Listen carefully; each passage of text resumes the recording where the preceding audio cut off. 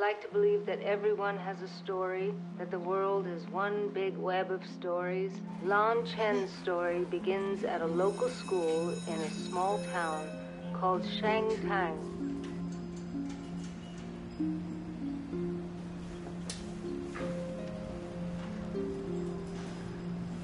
When you see a W, is this what you see?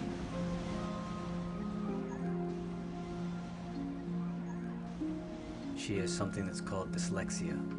The brains of some people are just wired differently. They just need a different system of teaching.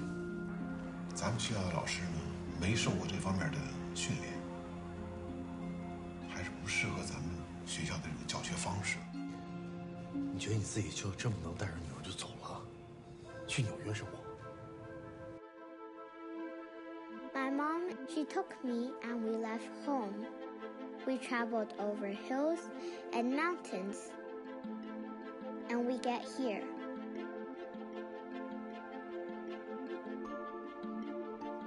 You must be Lan and you must be Mei.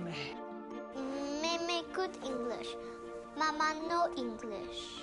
Thomas failed to mention that. I set up an interview for Mei at a new school. It's a school for kids like Mei Mei who are left behind by the system, smart kids who learn differently. All I ask of you, Miss Chen, is that you give us your trust. All I want, my daughter, be normal. Why can't she be normal? Okay, come You on. said she can be normal. Your daughter will never be normal because none of the children here are normal. But they are capable of great things. 那是不是我正常了？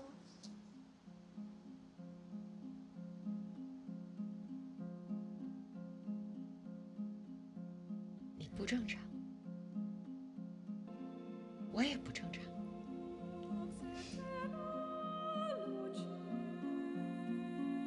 正常不重要。